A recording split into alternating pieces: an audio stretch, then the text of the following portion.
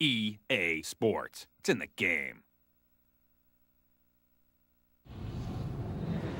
Hi, I'm Tracy with the Baltimore Ravens.